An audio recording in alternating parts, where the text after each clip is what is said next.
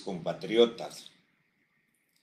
Desde la escoba punto social le deseamos muy feliz Navidad y para el 2023 mucha salud, mucha fuerza, mucha prosperidad. Nos hacemos una pregunta esta tarde y es la siguiente. ¿Cuál ha sido el logro más importante del presidente Rodrigo Chávez en este año 2022? ¿Usted qué cree, compatriota? ¿Cuál ha sido el logro más importante del gobierno Chávez Robles? Pues para mí el más importante ha sido hacernos comprender que los partidos corruptos y la prensa canalla mienten, desinforman y causan retroceso y frustración a la sociedad civil costarricense.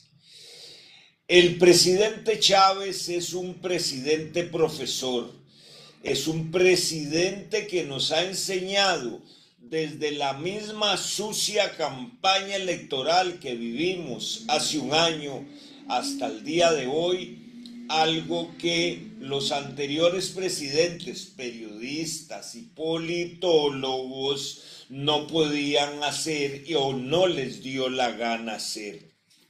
Tan simple como hablar con la verdad. Si comparamos las últimas cuatro administraciones desde la trocha, perdón, desde Laura Chinchilla hasta los desastres de los gobiernos del PAC, nos damos cuenta que ahí prevalecía la mentira, el engaño, los miles de millones para la prensa canalla, las fiestas de corrupción de los partidos Liberación Nacional, Frente Amplio, PUS y qué decir del casi muerto PAC.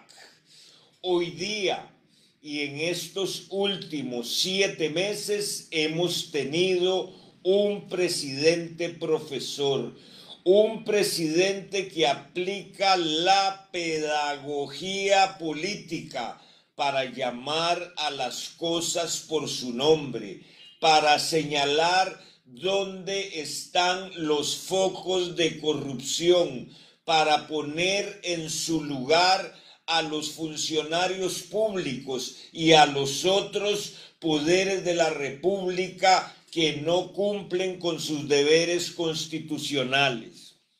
Hemos visto cómo en esta segunda mitad del 2022 la verdad ha traído al pueblo costarricense tranquilidad, conciencia y comprensión de la realidad. Se está acabando esa nube negra horrible que no nos dejaba ver más allá de nuestras narices por el bombardeo de la desinformación y de, la manipulación de la prensa canalla. Entendamos Ignacio Santos y Telenoticias, Armando González y La Nación, Randall Rivera y Repretel, Amelia Rueda y Monumental, Vilma Ibarra y Columbia, especialmente. Esa prensa canalla, esa prensa vividora ha perdido toda su credibilidad gracias al presidente profesor Chávez Robles. Vea la encuesta de ayer. Vea el nivel en que se encuentra la prensa. En seis. Ve el nivel en que se encuentra el Poder Judicial. En seis.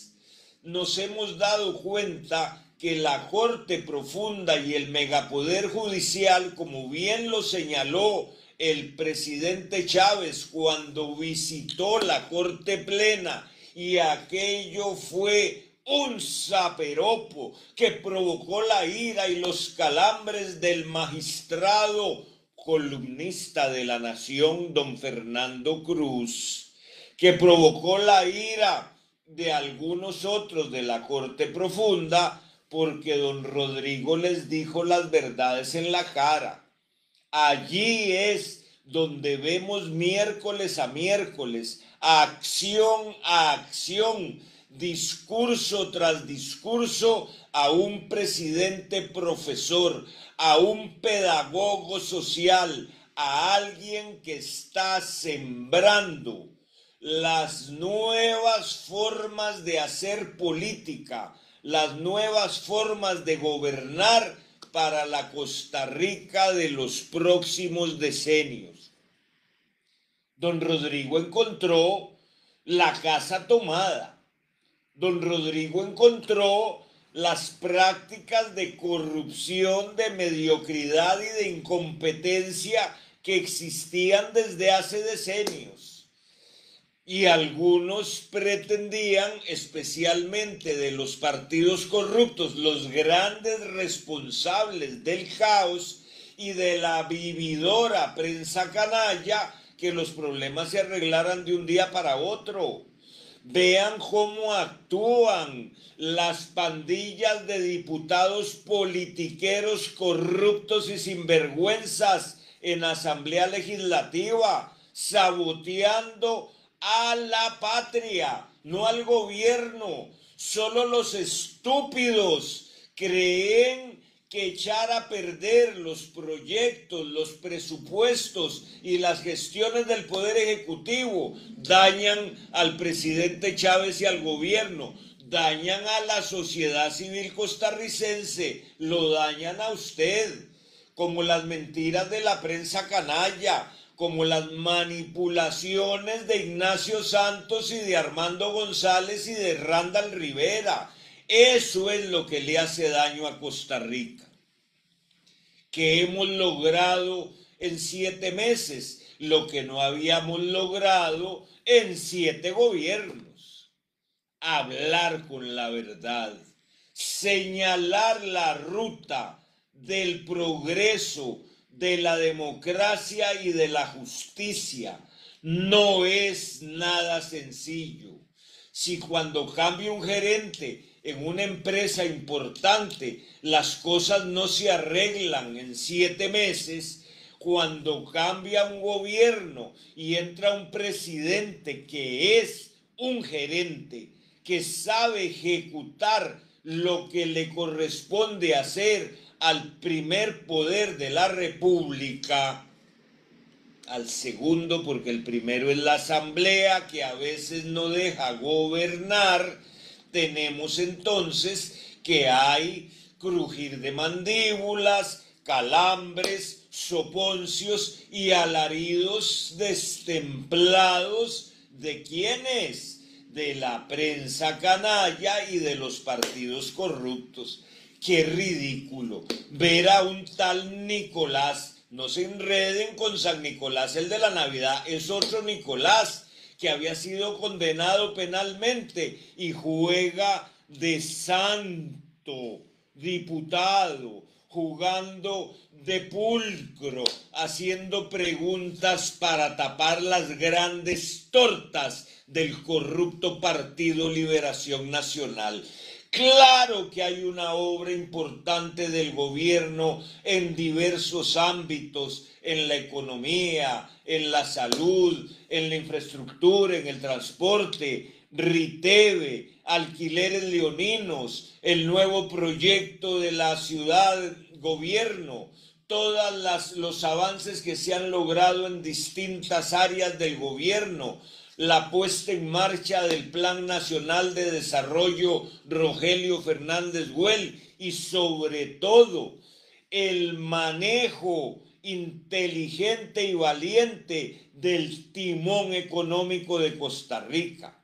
Tenemos a un presidente profesor, tenemos a un presidente que habla con la verdad y nos ha enseñado a desconfiar de la prensa canalla y de los partidos tradicionales y corruptos. Ese es el gran logro del presidente Rodrigo Chávez Robles. Gracias a que habla con la verdad, que entendamos la realidad y que no nos dejemos más manipular y engañar por los parásitos de la prensa canalla y de los partidos corruptos. Que estas navidades, donde recordamos fervorosamente el nacimiento de nuestro Señor Jesucristo, nos hagan reflexionar, nos hagan comprender aún más todo el camino que nos falta para llegar a construir una Costa Rica digna, justa y democrática, no al servicio de una pequeña casta codiciosa, de la prensa canalla y de los partidos corruptos. Es la hora de la sociedad civil costarricense, es la hora de la verdad y tenemos a un señor presidente profesor don Rodrigo Chávez Robles, que sabe dirigir el barco de la República por los mares de la transparencia, de la verdad y de la valentía. A usted, compatriota, mis mejores deseos en estas Navidades y en el próximo año 2023. Muy buenas tardes.